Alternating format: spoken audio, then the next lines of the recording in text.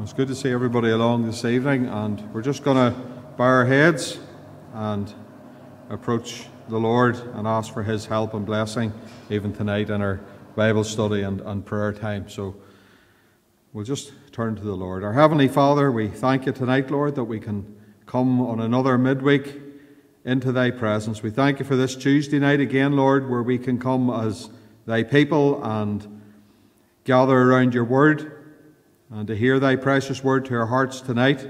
And we do ask you, Lord, you'll give us help tonight, Lord, as we uh, seek, Lord, to turn to Thy Word. We pray, Lord, tonight it would find a resting place in our hearts. And Lord, that you might even speak to us tonight and challenge us from your precious Word. And then a little later, Lord, we ask you for your help as we turn to prayer, Lord. Again, Lord, we realize that we're living in a time when there's much need of prayer, and yet, Lord, we acknowledge even this night, Lord, that prayer is oft neglected. And we just ask you, Lord, tonight that you'll come and visit us, that you'll pour out a spirit of prayer upon our meeting tonight. We pray, Lord, that as we come away from this building this evening, we will know that we've met with Thee. Uh, Lord, that is our desire tonight. We don't want to come, Lord, and just go through, as it were, the motions, Lord, and leave again. But, Lord, we would desire tonight, Lord, that we would meet here with Thee. We would know Your presence. We would know Your speaking voice. We would know Thy help. And we pray, Lord, tonight, Lord, that even as two and three are gathered together in Thy name, we thank You, Lord, Your word declares that You're there in the midst. And we claim that promise tonight, and we pray, Lord, that You'll be one of our number. Just think, Lord, of the work here in Tandragee tonight. We thank You for this open door. We thank You for Your blessing down through the years upon the work here. And we do pray, Lord, again, Lord, as we come towards the end of a summer and we look, Lord, again towards a winter's work, we would ask you, Lord, that, Lord, you would go before us. We pray, Lord, that, Lord, even uh, as we start back into the various works in September, in thy will, we would just ask you, Lord, that you'll visit us with a revival, Lord, that you'll visit us with a move of thy Spirit. We think of the work on the boys and girls and the toddlers. We think of the work of the young people, Lord, the kids out of the town, and all of the various meetings that we have here in this church. We just pray, Lord, that you will come and visit us and bless the works, Lord, we pray. We pray for each one who leads the work, Lord. We pray for, uh, Lord, a refreshing over the summer months. We pray for zeal, Lord, and for vision and for burden, Lord, as we come back into the winter's work. Lord, that you'll do that work upon our hearts. Give us, Lord, that vision for souls, Lord, we pray. And we pray, Lord, even, Lord, that we will see great things done for thy honour and for thy glory. We just thank, Lord, for minister tonight. We thank you for this time of holiday and, uh, Lord, recharging that he has, Lord. We pray that you'll be with him. And for Mrs. Gray and the family as well, we just pray, Lord, that they'll know thy hand upon them. And we do thank, Lord, of the services again on the Lord's day. And we pray, Lord, as the servant comes to bring thy word to us, Lord, we pray again that you'll bring him with a message from Thee. And Lord, again, Lord, that you'll visit us here in this house on the Lord's Day. We do thank you tonight, Lord, for answers to prayer and, Lord, even in recent days. And we praise you, Lord, that you are a God who hears and answers prayer. And we just pray tonight, Lord, as we uh, gather here for prayer, we pray, Lord, you'll help us to hold on to the horns of the altar. And we pray, Lord, that business would be done with Thee tonight, even in the place of prayer. So, Lord, we just ask you now, Lord, to meet with us to bless us, to encourage us as your people tonight. For we pray and we ask it in Jesus' name. Amen. I just want to ask you to turn to uh, the book of Nehemiah this evening. And we just want to look at um, some thoughts from chapter 1 of Nehemiah. Um, Nehemiah chapter 1. And I'm just going to start reading actually from the verse 2 just to shorten the reading a little bit, okay? So, uh, Nehemiah chapter 1 and verse 2. Then Hanani, one of my brethren, came, he and certain men of Judah, and I asked them concerning the Jews that had escaped, which were left of the captivity, and concerning Jerusalem. And they said unto me, The remnant that are left of the captivity there in the province are in great affliction and reproach.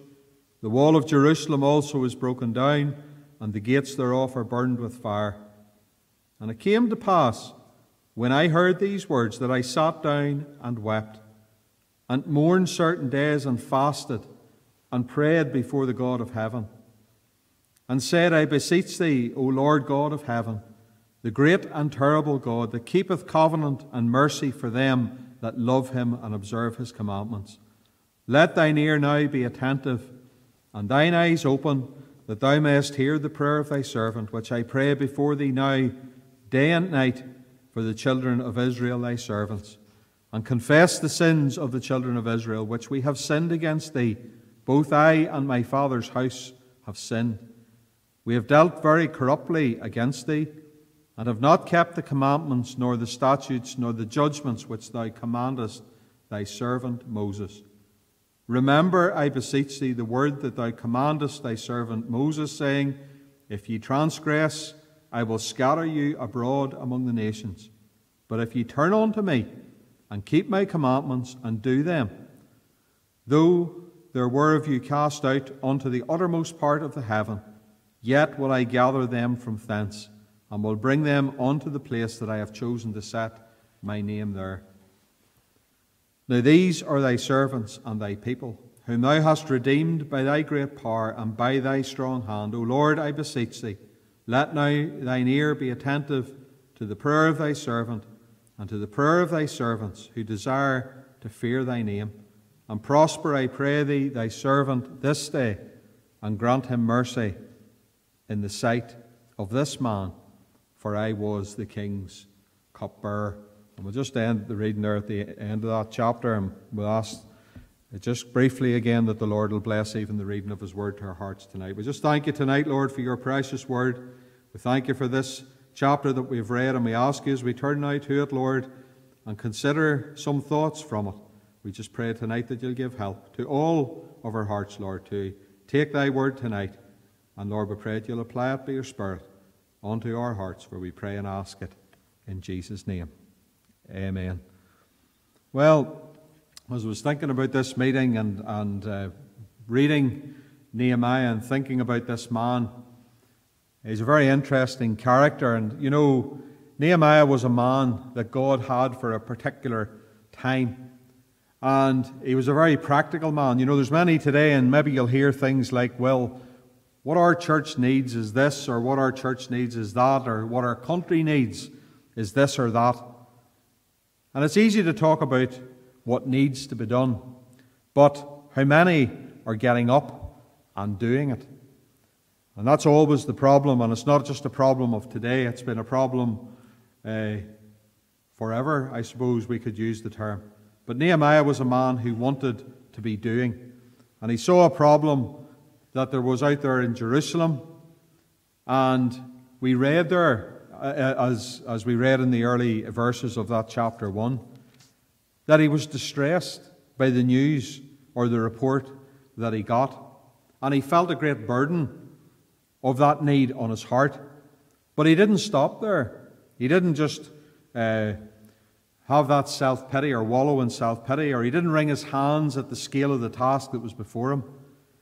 He got up, and in the midst of all of that grief and that burden that he had, he took action and he did something about it. And you know, tonight, as we think about Nehemiah, there is a, a principle here because the Lord wants people who are willing to work, and that should be a mark of God's people that there is a willingness to roll up our sleeves and not just to talk about it, but to get into the work and to do the work. And sadly, in the church of God today, there are many who consider what needs to be done um, and they have an opinion of how things should be done.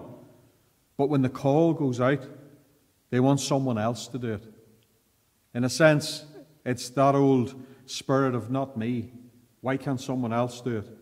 But that's not the mark of this man, Nehemiah. And we want to look practically at, his, at some examples from him here tonight in this first chapter of this book. Now, Nehemiah, um, in his day, there was a work to be done for the Lord. And I was reading up a little bit about the history of this book and the history of that time of the children of Israel or, or the Jewish people um, around the, the history of this book. And you know, we read that um, there was a remnant who had gone back to Jerusalem. We're told about 50,000 Jews had gone back to Jerusalem in 536 BC.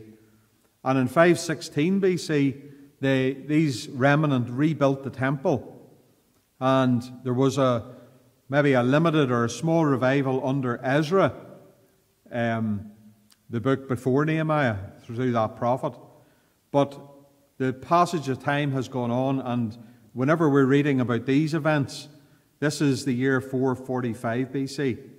And again, while God had been moving and the Jews had moved back to Jerusalem, and there had been this limited revival in Jerusalem, there was still so much work to be done.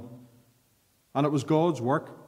And God had someone that He was raising up for that particular time and for that particular hour. Someone to go to that ruined city and to rebuild the walls. Those walls that brought safety and order to that city, but they were broken down. And the man that God had was Nehemiah. Now, if you read about Nehemiah, you'll find that he was um, the king's cupbearer. Now, the cupbearer, um, I remember when I was small, you thought, that's a funny job, carrying a cup around. But, you know, it was much more than that. He wasn't a butler, he wasn't a, a servant in that sense. Uh, a cupbearer to the king was a, someone, you know, great responsibility. He actually had authority and someone who the king would have turned to for advice and to bounce ideas off. It was a position of great influence. But the reason God turned to Nehemiah in this time when there was a need was not because of his position. The reason why God selected Nehemiah were the characteristics that we see about this man in chapter 1. And the first thing I want you to see uh, this evening was that he was a man who had a burden. If you read verses 1 to 3, you know, Nehemiah lived in a time and a place where Jerusalem was that was in a state of dereliction. It was ruined, it had been destroyed essentially. And Nehemiah, his life story, I suppose, and the book of Nehemiah is built around the story of the rebuilding of those walls. But you know, the building of those walls didn't begin when Nehemiah or those who worked with him laid the first stone. It began here in chapter 1 when Nehemiah had a burden. The Lord burdened his heart. You can see when he got the report, you read there that he was affected by it. He wept. It affected his heart. There was something more than just listening to the news and it affecting him in his own uh, mental capacity in his head. It touched his heart. And I suppose tonight we have to ask ourselves the question. Nehemiah here heard this report. He asked a question. He received a report and answer. And we read that he got before the Lord. He had a burden. He had a desire to see something being done. And the challenge for us tonight is are we burdened? You know, we're living in a country that has a great gospel heritage. And sadly, as we look around us today, it, it seems that it's just being demolished. It's not even anymore being chipped away, it's almost just being broken down in front of our eyes. And I wonder tonight, does that burden us in the way that it did Nehemiah? When you read uh, the example of this man, there's a challenge to our hearts here. How does the dereliction and the situation that we see before us today affect us? How does it burden us?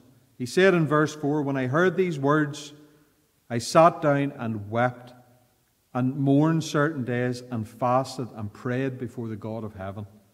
You see, he was affected, not just with the weeping, but we read that he mourned and he fasted and he prayed before the God of heaven. You see, he had a heart for God's people and he had a heart for God's work. And in a way, just like Moses, Nehemiah chose to suffer affliction with the people of God rather than to enjoy the pleasures of sin for a season. It didn't matter about this man's position. It didn't matter how much power that he had in the, inside that court and inside that palace. Nehemiah was a man who had a burden. And I wonder tonight, do we have a burden for God's work? We're coming into a winter's work. There's much to be done. We have seen in the last year and a half the difficulties of being able to have meetings and, and to reach out to the unsaved. And in God's will, in the winter's work, we hopefully will see those opportunities open again. Do we have a burden to go out and to reach the lost and to see that God's kingdom being built up? He was a man with a burden, but also he was a man of prayer. Yes, he had that burden, and we read that he wept, but he didn't stop there. It drove him to his knees, it, it drove him to pray unto the Lord. And we have read that passage together this evening. And we see here that Nehemiah asked for God's power. You know, uh, when I was just thinking about this over the weekend, and you think about the position that Nehemiah was in and how close he was to this king, this powerful king.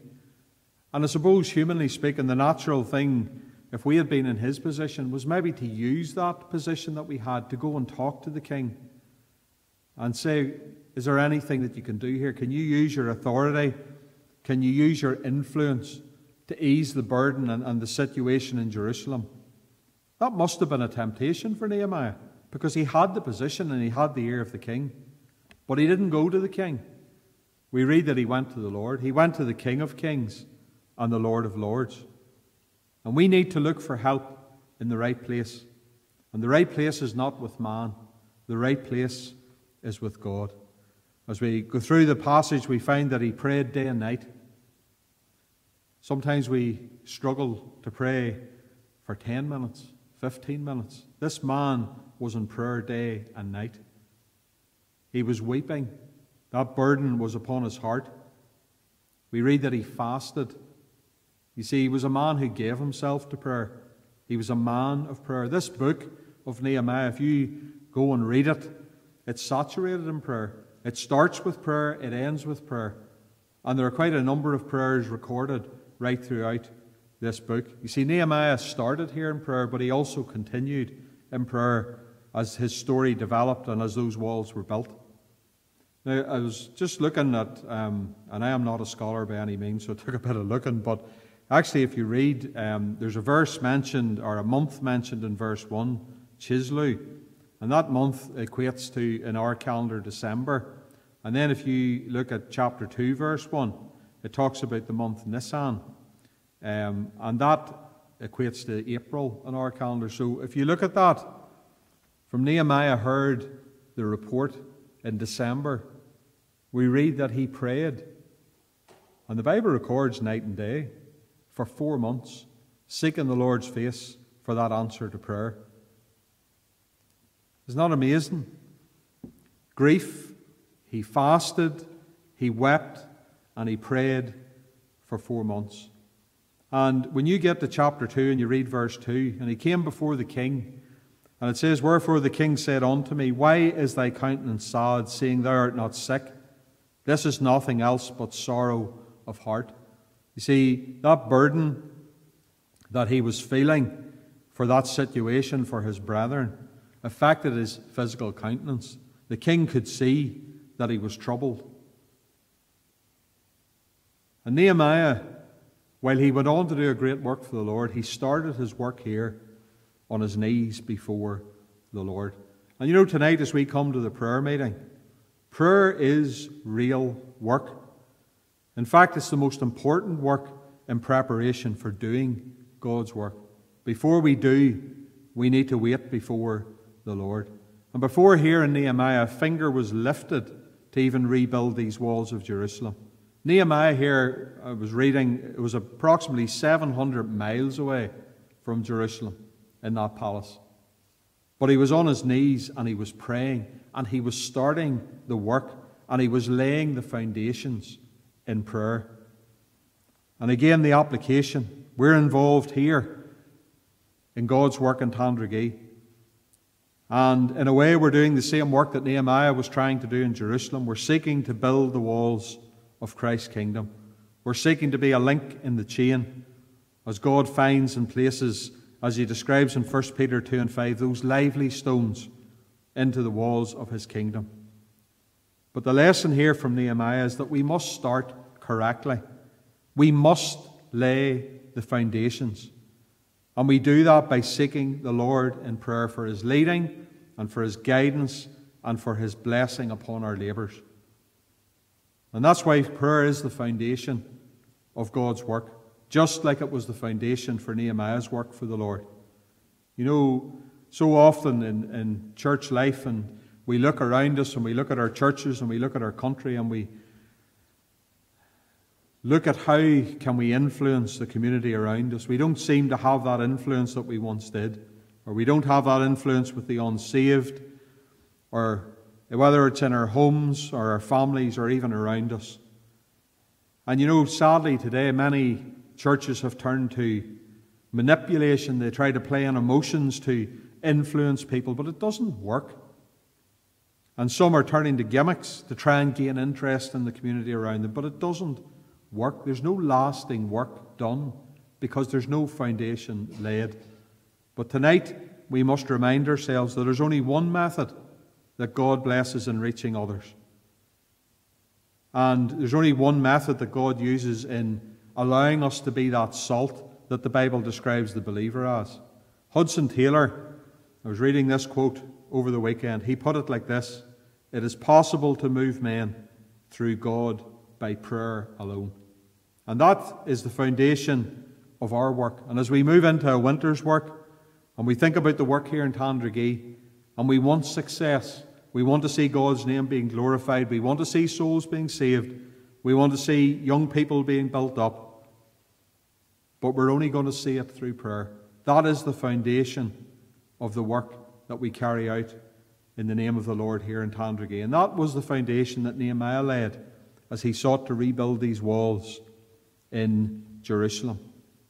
He was a man with a burden, he was a man of prayer, but just finally tonight, he was a man of action.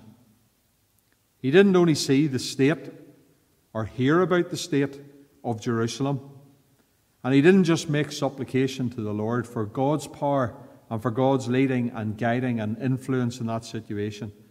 But he was a man who was willing to get his hands dirty. He was willing not just to pray about the work, but he had a heart to go to the work and to give of himself to be used in God's service.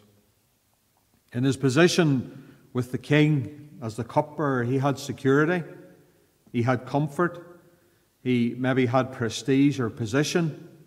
He was an important man. But this man's love for God was greater than all of those things that he had. You see, those possessions, those things of time, meant nothing to him. He had his eyes fixed on God's work, on God's glory, and he was willing to pay the price and to give himself to the task that he saw needed to be done. And sadly, today, and we challenge our own hearts in this, there's not too many Nehemiahs. We're all experts in seeing what needs to be done um, and how it should be done and the best way that it could be done and maybe why it's being done wrong and how it could be done better. But how many of us are truly willing to give ourselves to the task? Not many. Nehemiah had a burden, but he had stickability. And he held on to the Lord in prayer. He sought the answer to his prayer. He sought to see that answer to his prayer. But as he prayed, he was willing in his heart to be the one that God would use to deliver the people in Jerusalem and to rebuild the walls and to see God's people blessed. You see, he put feet to his prayers, and he was willing to be the instrument that God would use to see his will done. You know, in the day that we live, just like in the day of Nehemiah, it's a day of challenge, great challenge. And it seems that the enemy has come in like a flood, just like it did in Nehemiah's day. Jerusalem was leveled, it was destroyed. And spiritually speaking, today, in our own country and our own town here, the walls that we have known, those walls of security, they're being toppled all around us. And the Jews in those days, just like the people of God today, seem to be no longer powerful, particularly with the community around us. But here in Nehemiah, we can see a situation that we can look at in our own day.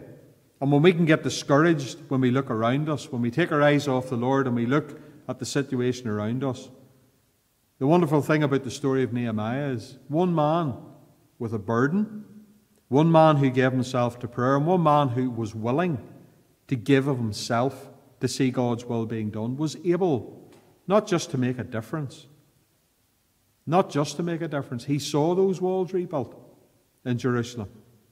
And those Jews that had known reproach and maybe powerlessness, they got to a point where they were blessed, where they were praising the Lord for his faithfulness.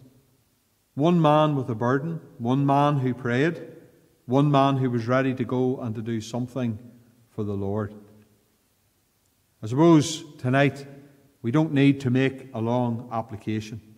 Just a few simple questions to our own hearts tonight as we close. Do we have a burden for the work of God? That's a question to our hearts. That's a question I have asked myself as I have studied this man and looked at this chapter.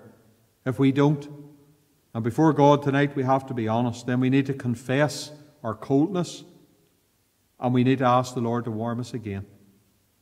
Because if we don't have a burden, then I would suggest tonight that we're not walking close to the Lord. And I wonder tonight as we've come to the prayer meeting, again, sometimes we can get into habit, routine. Have we come tonight to get involved in prayer, to lay hold upon the Lord? This is the work that God has called every one of us to. Not every one of us will stand up and speak. Not every one of us will be a Sunday school teacher or a missionary or to go into the ministry.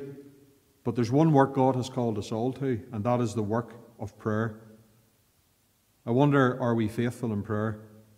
And as we're coming into a winter's work, the challenge to our hearts is are we willing to sacrifice? Whether it's our time, it's our talent, or just simply our energy, are we willing to give it in the service of the King of Kings? Just as Nehemiah did in the example that's set before us, are we willing to put feet to our prayers and to be the one that God would use to see his kingdom furthered and those walls rebuilt. I pray tonight that as we have looked at Nehemiah, we'll take those lessons. And I just don't uh, preach at you tonight, I'm taking it to my own heart as well. There's a challenge here to us, and may God's word challenge us tonight as we have looked at the, the application of this man, Nehemiah. We, um, we're going to get down to prayer. I just a couple of uh, wee announcements, and I have scribbled stuff down, so forgive me if I'm a bit messed up here tonight. But just remember the services on the Lord's Day.